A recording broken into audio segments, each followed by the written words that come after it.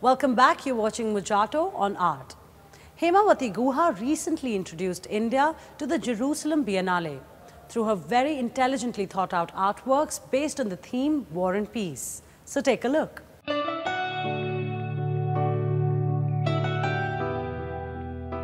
Catch 200 global artists in 26 exhibitions and projects. Celebrate the exchange between contemporary art around the world and Jewish art at the third Jerusalem Biennale this season.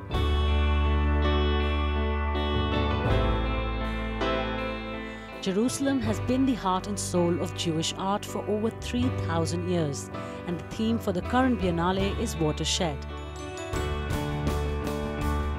Both in Hebrew and in English, the term watershed is used to denote an important twist, an event that changed the course of history. The Indian contemporary art showcased at the Biennale is curated by Hemavathy Guha. The broader theme of the Biennale was watershed. I re- realized that even after getting this independence, there was no peace and there was continuously war between neighboring countries. So I chose the theme of conflict between war and peace.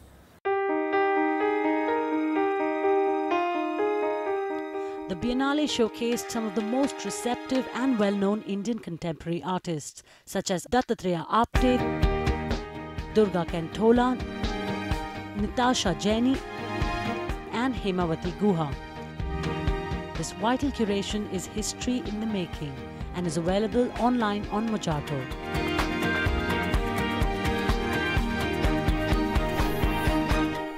I gave Hema two canvases, one called Buddha and Ashoka, because violence is a phenomena that comes from history. And the second work I gave is a gun which has lotuses. Now, lotus we've used a lot in Indian painting and sculpture. Violence and love are the two universal realities of our time which will always be there. I visited Amritsar very recently and I happened to be there at Jallianwala Bagh and that haunted me.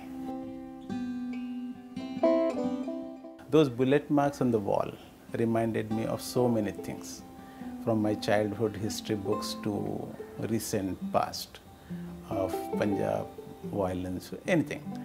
So that gave me a hint on which I can work upon and being working in paper pulp for a long time, I thought I can evoke the same kind of feeling through my medium. I used barbed wire in my thing, and the barbed wire, it is just a, stick I used, and I rolled the wire around it, the barbed wire that they use now, and on it I did a bronze gun, a pistol, and I fixed that pistol in that barbed wire. And then I did a, I got a shirt stitched with the uh, camouflage print, and I got it uh, embroidered by a, a karigar with sequins. So this was like a same, same thing which is used as by the worn by the military all over in different color. So on a, a hanger I hung this shirt. And behind this installation, I put a painting of around 5 by 4 feet of Bhagat Singh. And then in that Bhagat Singh image, which is a multiple images I used, I also used Gandhiji's hand uh, clock that he used to use, the round one. So I did that and the image of Gandhiji into it because how time has stopped. It is not why I'm showing, but Gandhiji's things were about non-violence. So two works that I presented are one is an actually an embroidery piece. It's uh, uh, it's an image of eight business men on a black cloth embroidered with blue sequins. And the other work is a video.